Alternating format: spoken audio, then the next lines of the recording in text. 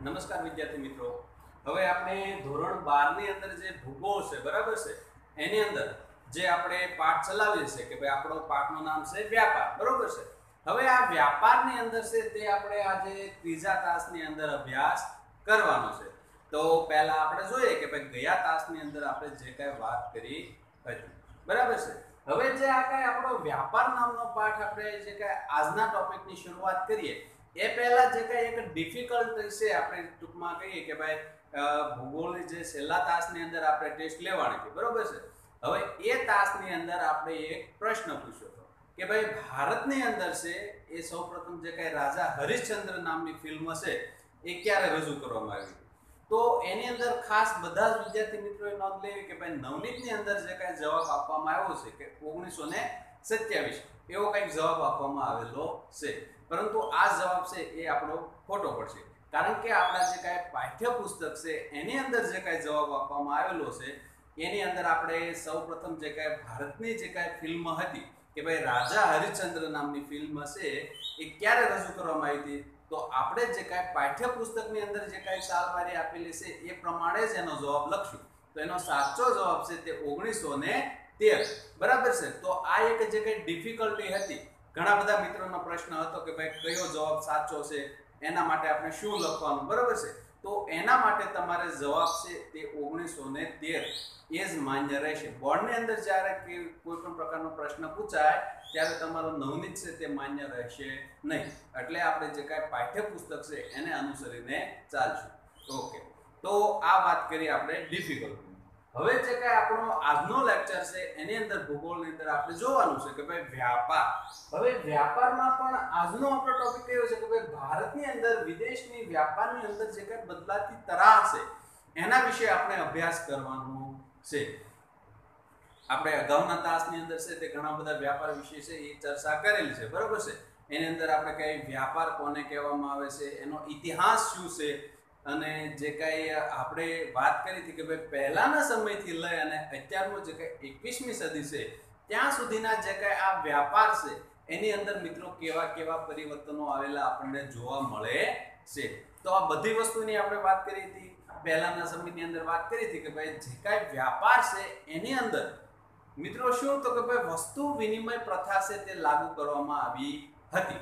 પરંતુ અત્યારે જેમ જેમ એકવીસમી સદી તરફ આપણે જઈ રહ્યા છીએ, જેમ જેમ વિજ્ઞાન અને ટેકનોલોજીનો વિકાસ થઈ રહ્યો છે, તેમ આપણે જોઈએ તો ભાઈ એની અંદર જે કાંઈ છે તે હવે ધીમે ધીમે ધીમે ધીમે સોફ્ટવેર ક્ષેત્રની અંદર છે તે મિત્રો ઘણો બધો વિકાસ થયેલો આપણને જોવા મળે છે. તો આજનો આપણે ટોપિક શરૂ કરીએ કે ભાઈ ભારતની અંદર જે કાંઈ વિદેશ વ્યાપાર છે, એની જે કાંઈ બદલાતી તરાહ હવે એના વિશે આપણે વાત કરીએ કે ભાઈ ભારતની અંદર અત્યારે હાલના સમયે જોઈએ તો એની જે કાંઈ વ્યાપાર છે, એના વિશે એની કઈ રીતની જે કાંઈ તરાહ છે એ બદલી રહી છે. તો એના વિશે આપણે વાત કરીએ તો ભાઈ પહેલાના સમયમાં જે કાંઈ વસ્તુ વિનિમય પ્રથા હતી ત્યારબાદ અત્યારના સમયમાં છે તે ઘણા બધા મિત્રો સુધારા આવેલા છે. તો ભારતના વિદેશ વ્યાપારની બદલાતી તરાહ છે, એને આપણે મૂળ કેટલા ત્રણ તબક્કાની અંદર આપણે અભ્યાસ કરવાનો છે. સૌપ્રથમ જે કાંઈ તબક્કો છે, એની અંદર સાવ જે કાંઈ શરૂઆતનો સમય છે, ત્યારની વાત કરવામાં આવી છે. ત્યારબાદ જે કાંઈ દ્વિતીય તબક્કો છે, એની અંદર જે કાંઈ અંગ્રેજોનું શાસન હતું અને ત્યારે કઈ પરિસ્થિતિની અંદર વ્યાપાર હતો, એની વાત કરવાની છે. અને ત્યારબાદ જે કાંઈ તૃતીય તબક્કો છે, એની અંદર મિત્રો આપણે જોઈશું કે ભાઈ ભારતને આઝાદી મળી ત્યાર પછીથી લઈ અને આજ સુધી છે તેની અંદર કેવા કેવા પરિવર્તનો આવેલા છે, એના વિશે છે તે આપણે અભ્યાસ કરવાનો છે. તો ભારતના જે કાંઈ વિદેશ વ્યાપારની જે કાંઈ બદલાતી તરા છે, એની અંદર આપણો જે કાંઈ ટોપિક છે, એનો જે કાંઈ પ્રથમ તબક્કો છે, એની વિશે આપણે પહેલા ચર્ચા કરીએ.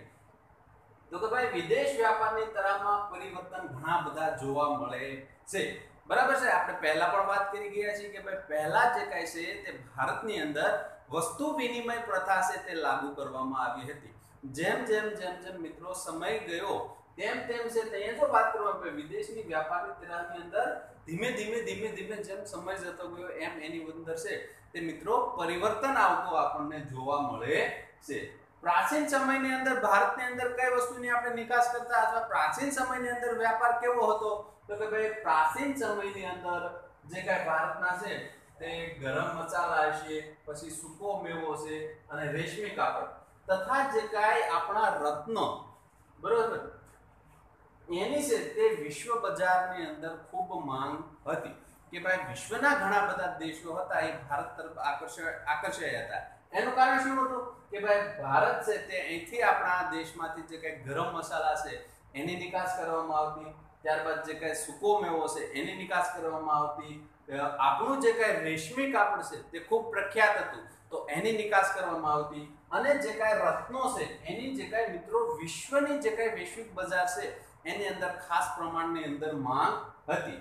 વિશ્વના મોટાભાગના દેશો છે તે ભારત સાથે વ્યાપારથી જોડાયેલા હતા. અને આજે પણ જે કાંઈ અમુક બે ચાર દેશને આપણે બાદ કરતા જોઈએ, તો મોટા ભાગના જે કાંઈ દેશો છે, તે સારા એવા સંબંધો છે, તે ભારત સાથે વ્યાપારની બાબતમાં ધરાવે છે. તો અહીંયા જે કાંઈ છે, આ પહેલા તબક્કાની અંદર વાત કરીએ, તો પહેલાના સમયની અંદર કઈ કઈ તો કે ભાઈ ભારતની અંદર ગરમ મસાલા હશે સૂકા મેવા હશે કે ભાઈ રેશમી કાપડ અને જે કાંઈ રત્નો હતા, એની નિકાસ કરવામાં આવતી. શા માટે? તો કે ભાઈ વિશ્વની અંદર ખૂબ મોટી માંગ હતી કે ભાઈ આ બધા જે કાંઈ ભારત પાસે રહેલી વસ્તુ છે, તે અમને મળે. તો અહીંયા આપણે એના વિશે વાત કરી. ત્યારબાદ જે કાંઈ આપણો દ્વિતીય તબક્કો છે એની અંદર વાત કરીએ તો ભાઈ દ્વિતીય તબક્કાની અંદર અંગ્રેજોના શાસન દરમિયાન વિશ્વમાં થયેલી જે કે ઔદ્યોગિક ક્રાંતિના ફળ સ્વરૂપે ભારતમાંથી પ્રાથમિક ચીજ વસ્તુઓ છે એની નિકાસ થઈ બરાબર છે?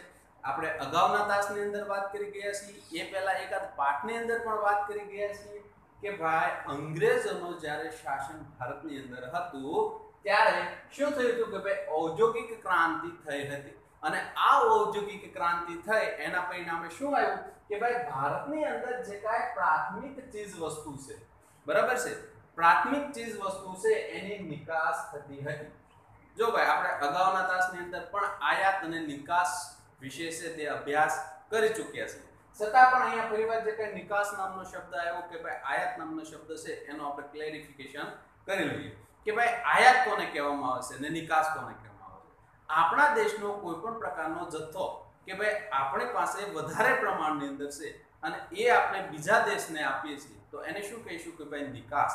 જ્યારે આપણા દેશની અંદર કોઈ પણ પ્રકારના જથ્થાની ઘટ છે અને બહારના દેશમાંથી આપણે લાવીએ છીએ એને આપણે આયાત કહીશું.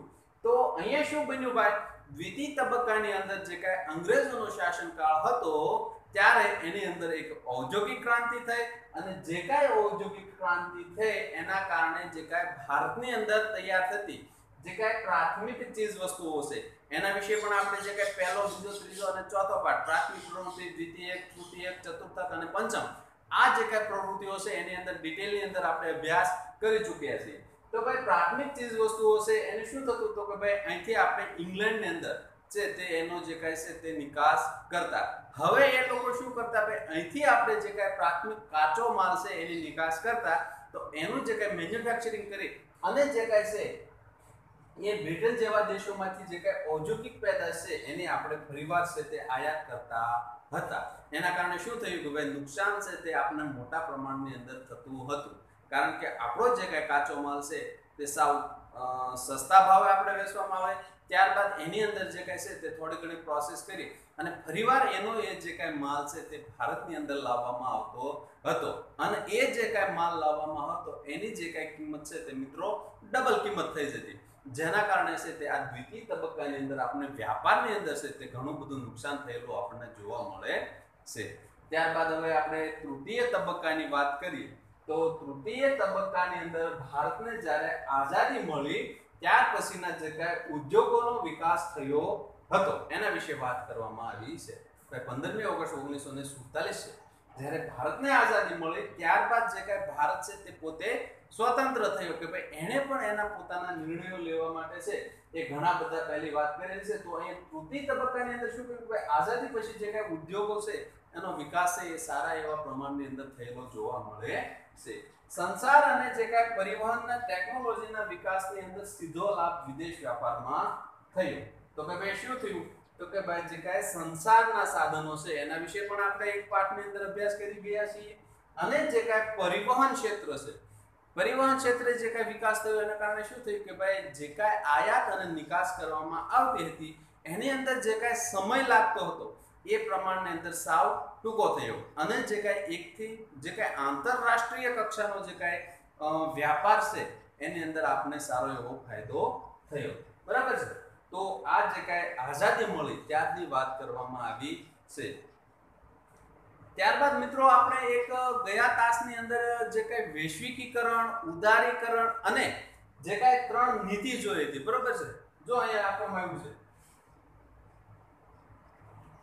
ઈસવીસન ઓગણીસો ને એકાણું પછી ભારત સરકારે વિદેશ વ્યાપારને વેગ મળે તે માટે અપનાવેલી નીતિ હતી. એના જે કાંઈ પરિણામો છે તે ખૂબ સારા જોવા મળ્યા. એ તાસની અંદર આપણે છે તે વિગતવાર વૈશ્વિકીકરણ કોને કહેવાય, ખાનગીકરણ કોને કહેવાય અને જે કાંઈ વાત કરવામાં હતી એ વિશે આપણે સરસ સારી રીતે એનો અભ્યાસ કરી ચૂક્યા છીએ. તો જે કાંઈ આ ઓગણીસો ને એકાણું પછીની જે કાંઈ આ નીતિઓ લાગુ કરવામાં આવી એના કારણે શું થયું કે ભાઈ ભારત છે એને ખૂબ સારા એવા પરિણામો છે તે મળ્યા હતા. અને જે કાંઈ અત્યારનો સમયગાળો છે એની અંદર વાત કરી તો કે ભાઈ સોફ્ટવેર ક્ષેત્રની માંગની અંદર પણ ઘણો બધો વધારો છે તે થયેલો આપણને જોવા મળે છે.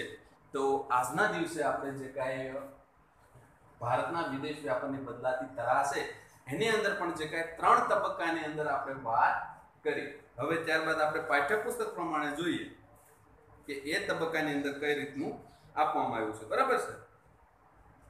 તો આપણો ટોપિક છે કે ભાઈ ભારતના વિદેશ વ્યાપારની બદલાતી તરાહ.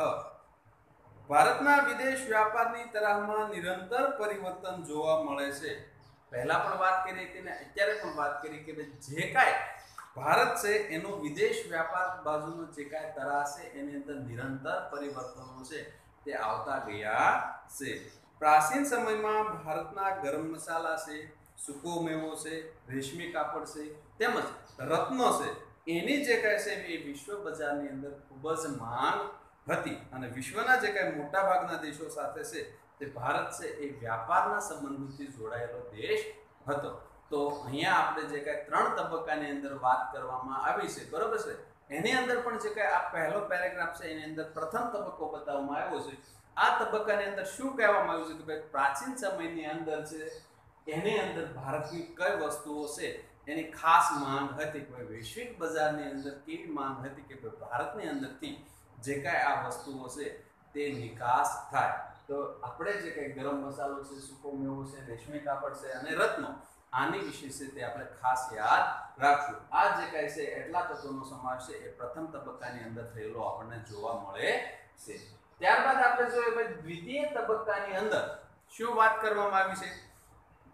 દ્વિતીય તબક્કામાં અંગ્રેજોના શાસન દરમિયાન વિશ્વમાં થયેલી જે કાંઈ ઔદ્યોગિક ક્રાંતિના ફળ સ્વરૂપે ભારતમાંથી પ્રાથમિક ચીજ વસ્તુઓની નિકાસ છે એ વિશેષ પ્રમાણની અંદર થયેલી આપણને જોવા મળે છે. તો કે ભાઈ બીજા તબક્કાની અંદર જે કાંઈ અંગ્રેજોનું શાસન છે તે ભારત ઉપર હતું. અને ત્યારે જે કાંઈ સમયગાળો હતો, એની અંદર શું થયું તો કે ભાઈ ઔદ્યોગિક ક્રાંતિ થઈ અને જે કાંઈ આ ઔદ્યોગિક ક્રાંતિ થઈ, એના ફળ સ્વરૂપે ભારતનો જે કાંઈ પ્રાથમિક માલ, જે કાંઈ પ્રાથમિક ચીજ વસ્તુઓ છે એની નિકાસ કરવામાં આવતી અને ત્યાં એ લોકો છે એની અંદર જે કાંઈ છે તે પ્રોસેસ કરી અને ફરી એ ભારતની અંદર આ માલ છે એની નિકાસ કરતા હતા. જેના કારણે આપણને મોટા પ્રમાણની અંદર નુકસાન થયેલું જોવા મળે છે. જ્યારે બ્રિટન જેવા દેશોમાંથી ઔદ્યોગિક પેદાશોની આયાત થતી હતી. બરાબર છે? તો આ બીજા તબક્કાની અંદર આપણે વાત કરી તો એની અંદર માત્ર એટલું જ જોવાનું છે કે ભાઈ આપણી જે કાંઈ પ્રાથમિક વસ્તુઓ છે, એની આપણે શું કરતા હતા? તો કે ભાઈ એની નિકાસ કરતા હતા. ક્યાં એ નિકાસ થતી હતી? તો કે બ્રિટનની અંદર. હવે બ્રિટનની અંદર છે એની અંદર જે કાંઈ પ્રોસેસ કરી અને એ લોકો છે એ ભારતની અંદર નિકાસ કરતા હતા. એટલે કે આપણી જે કાંઈ વસ્તુ છે એની અંદર થોડું ઘણું જે કાંઈ સુધારા વધારા થાય અને ફરી એ ભારતની અંદર પાછું આવતું હતું. અને એના કારણે છે એ મિત્રો આપણે મોટા પ્રમાણની અંદર નુકસાન થયેલું જોવા મળે છે. ત્યારબાદ આપણે વાત કરીએ કે ભાઈ ત્રીજો તબક્કો ભારતના વિદેશ વ્યાપારની બદલાતી તરાહની અંદર ત્રીજો તબક્કો છે. એના અંદર શું વાત કરવામાં આવી છે? તો કે ભાઈ તૃતીય તબક્કાની અંદર ભારતની આઝાદી પછી ભારતના ઉદ્યોગોનો વિકાસ થયો.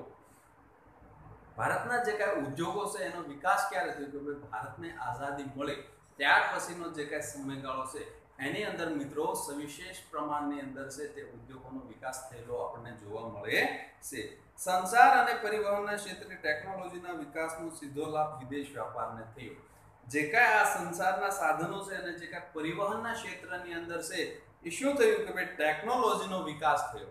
એનો સીધો જ લાભ છે એ જે કાંઈ આ વિદેશનો વ્યાપ વિદેશ સાથે વ્યાપાર છે એની અંદર ભારતને છે એ સારા એવા પ્રમાણની અંદર થયેલો જોવા મળે છે. ખાસ કરીને ઓગણીસો ને એકાણું પછી ભારત સરકારે વિદેશ વ્યાપારને વેગ મળે એ માટે અપનાવેલી નીતિના સારા પરિણામો મળ્યા છે. તો કે ભાઈ, ગયા તાસની અંદર આપણે વાત કરી હતી કે ભારતે જે કે ઉદારીકરણ છે, ખાનગીકરણ છે અને વૈશ્વિકીકરણ આ ત્રણ નીતિ છે એ ક્યારે અપનાવેલી? તો કે ભાઈ, ઈસવીસન ઓગણીસો ને એકાણું ની અંદર અપનાવી હતી અને એના કારણે છે તે મિત્રો ખૂબ સારા એવા પરિણામે છે એ મળ્યા અને વિદેશ વ્યાપાર છે એને પણ સારો એવો વેગ મળ્યો છે. અને એના પાછળનો કોઈ જવાબદાર પરિબળ હોય તો ઓગણીસો ને એકાણું પછી જે કાંઈ અપનાવેલી ત્રણ નીતિઓ છે એનો સમાવેશ એની અંદર થાય છે. હવે આંતરરાષ્ટ્રીય બજારમાં સેવા ક્ષેત્રે ભારતનો વ્યાપ વધી રહ્યો છે. જે કાંઈ આંતરરાષ્ટ્રીય બજાર છે એની અંદર સેવા ક્ષેત્રની અંદર પણ ભારત છે એનો વ્યાપ વધી રહ્યો છે. કારણ કે એની અંદર પણ છે એ સારું એવું આપણું છે તે આદાન પ્રદાન થઈ રહ્યું છે. અને એમાં પણ ખાસ કરીને જે કાંઈ સોફ્ટવેર ક્ષેત્રે છે તેની માંગ છે એની અંદર ખૂબ વધારે પ્રમાણ છે એ વધી રહી છે. તો અહીંયા જે કાંઈ આપણે આજના દિવસે ભારતના વિદેશ વ્યાપારની બદલાતી તરા છે એના વિશે અભ્યાસ કર્યો. ત્યાર પછીનો હવે નેક્સ્ટ ટોપિક છે તે આપણે પછીના દિવસોમાં લઈશું. ત્યાં સુધી આભાર.